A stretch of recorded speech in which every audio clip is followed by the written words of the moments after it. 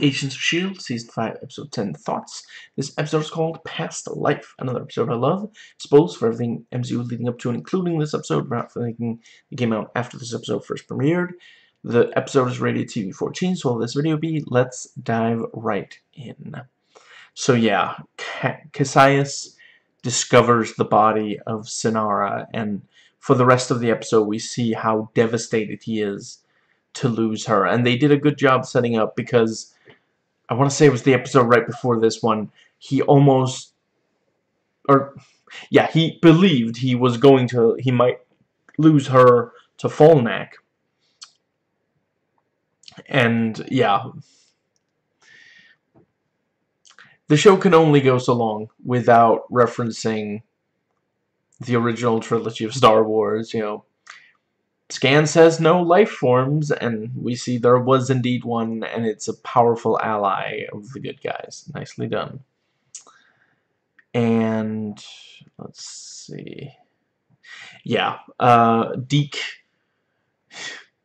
embodying a certain chunk of the audience asks, how is this supposed to work again? And let's see yeah, uh, the doctor tells Kasius, there's nothing I can do to bring back Sinara, and he ends up dead because of it. So again, we have this, that's not only fascists, that's dictators in general. There's many a dictator who've murdered people who did exactly what they were told, and then eventually they reach the point where it's like, I literally can't do, you're asking me to do something that is literally impossible, and they end up dead because of it. You know, it, this was something the Hitler did, Stalin did, several of the uh, North Korean dictators, you know, Kim Jong-un and uh, I can't believe I'm blanking on the the name of um yeah. And and Kasius, I didn't think that the relationship between Kasius and Sinara could get creepier, but with her dead and him still talking to her like she's still alive, got creepier. And it, yeah, like on the one hand, you can kind of understand because, yeah, when she was alive, a lot of the time she didn't speak. He basically, you know, he would, yeah, he would he would have the entire conversation on his own. But on the other hand, that was because she could communicate a lot without speaking. And the third hand, that's too many hands. And let's see the yeah, uh, uh, Kasius forces Tigh to drink the the what was it called odium which sets up nicely what it's going to do to Kasius later on. I like Flint saying, you know, because because Mack is like, oh, I can't wait to ride my bike, and and Flint is like, isn't that what little kids ride? And yeah, they they're able to to free some people with some great action scenes as part of that. And yeah, it is kind of sweet, Tess and, and Deke.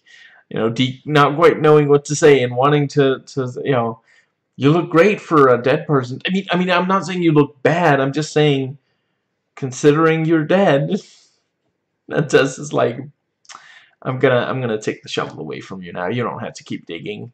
I'm happy to see you too see.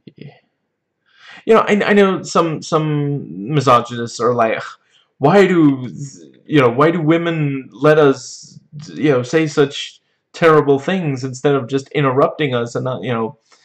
Okay, first of all, I'm pretty sure it's hilarious for them, and second of all, Nobody's putting a gun to our head making us say ridiculous things.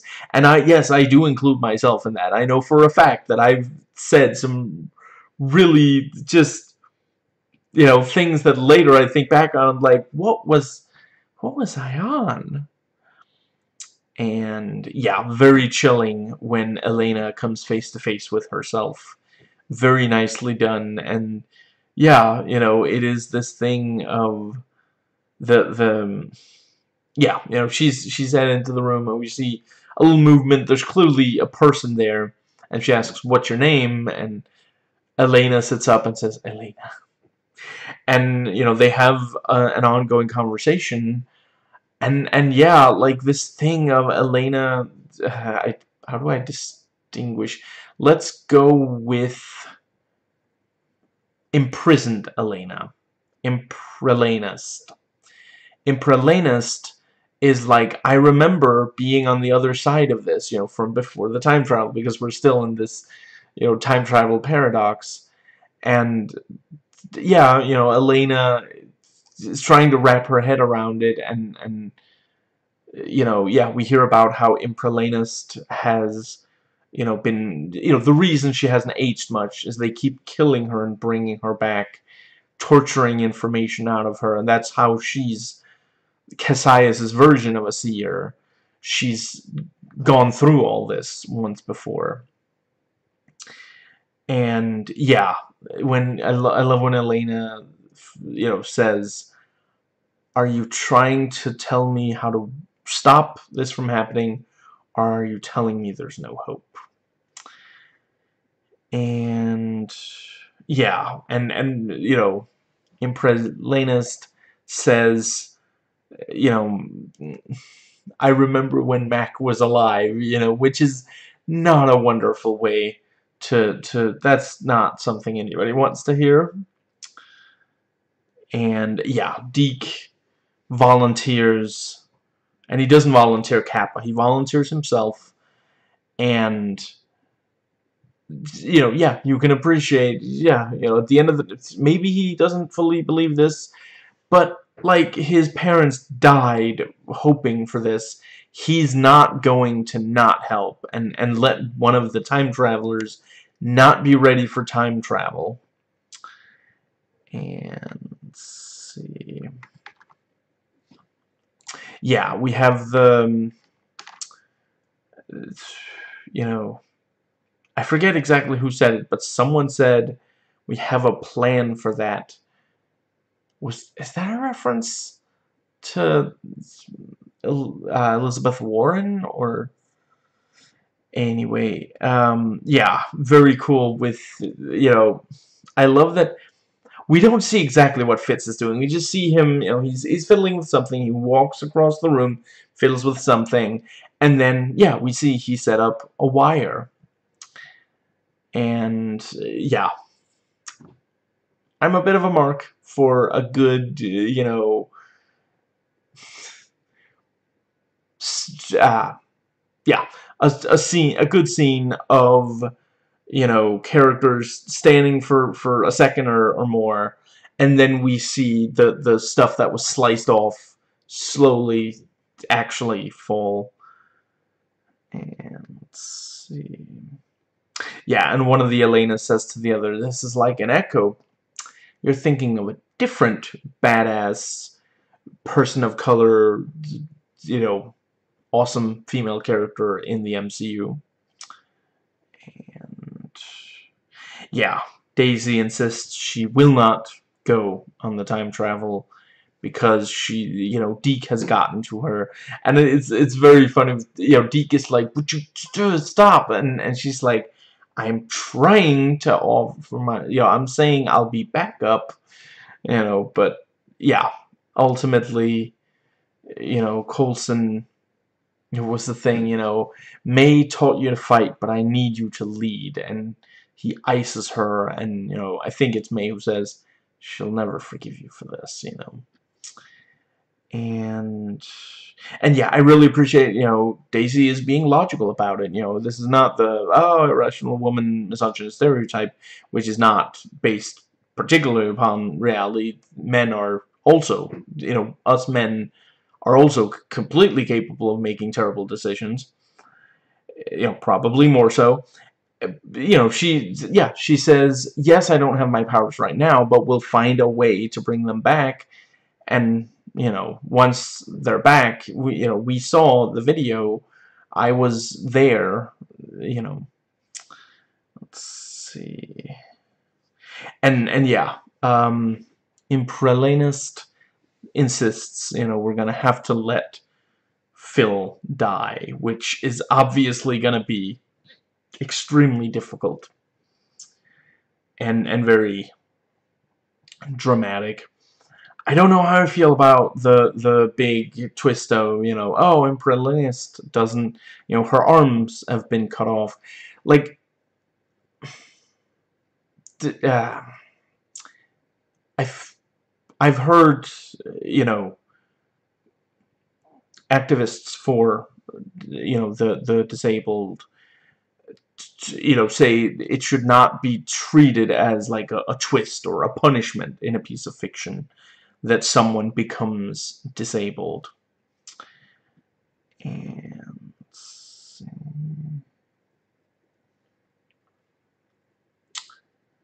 um, what did I write yeah, and and uh, Flint builds the stone. Very cool with the the space, uh, you know, journey. And yeah, so the audience knows once you know we see an Elena, we realize pretty quickly it's Impralenist because, you know, no arms, which again, you know, they could have done that some other way. There are other visual signifiers.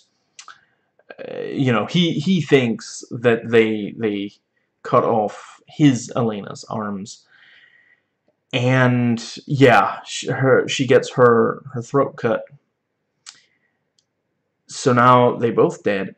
Never mind. Um yeah. The they put in the teaser, in the TV spot for this episode, Elena being threatened by Kasius. Obviously, that gets the audience like really emotional. It's like, oh, are, you know, is she going to die? And then it turns out to be, you know, the other. Yeah, not a big fan of when, you know, regardless of medium. I know it happens in comics, so it's it's as an adaptation, there is a certain, yeah, it makes sense for that. Let's see, and um,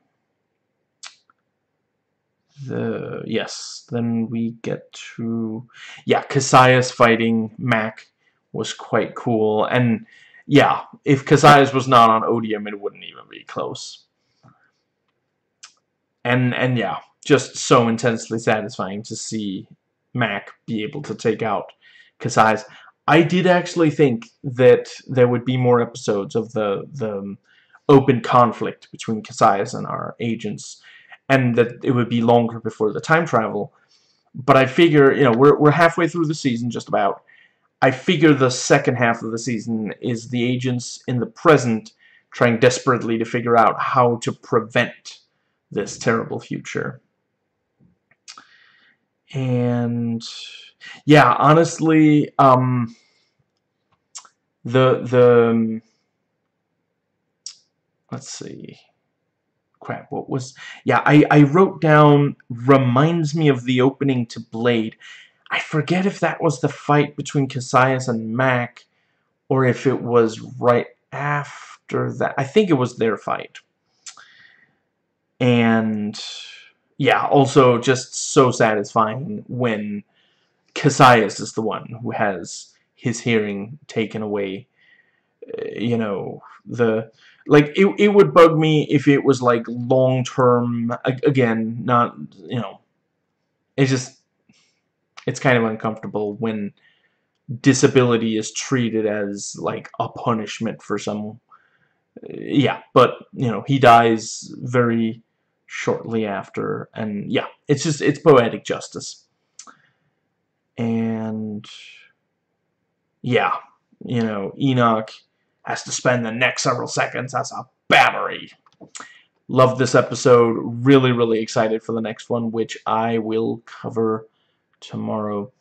And yeah, IMDb trivia. Daisy says, if I go through that portal, you know it's the beginning of the end. Se season, the series season one finale was titled Beginning of the End. And let's see. Huh. So in the goof section, one person, uh, yeah, it was submitted. When Elena is talking to her revived self, they should be speaking in her native Spanish. I think an argument could be made. Yeah, it was probably they didn't want the audience to, to deal with subtitles.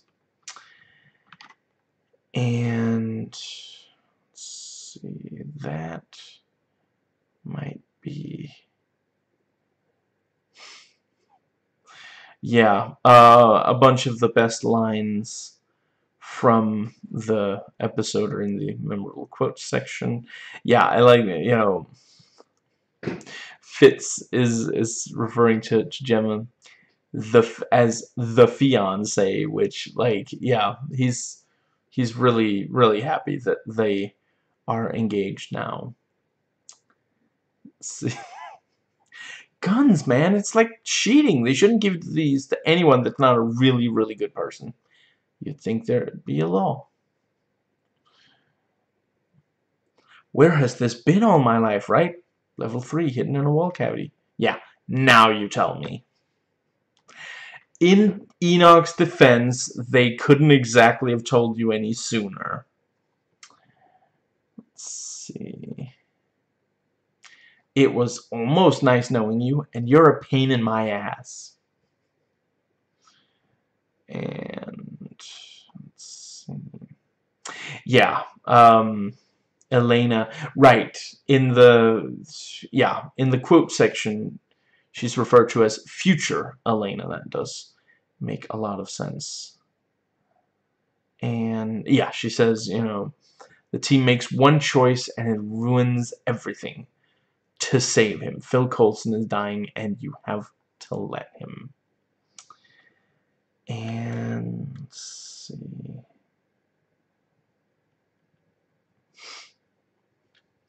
You sure they found you? The evidence is highly suggestive. And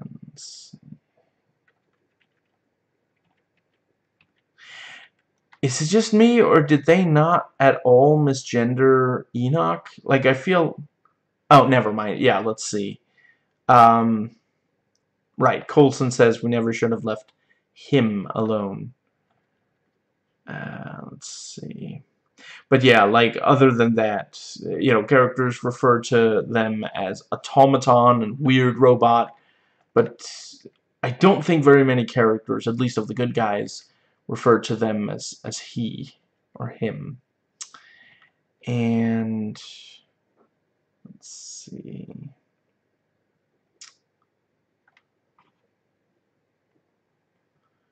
I think that might be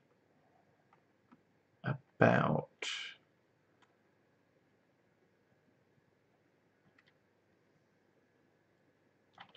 yeah um that is everything that yeah. So until tomorrow it's a motorcycle. Imagine a, a rocket with two wheels with a place to hold on. You dig it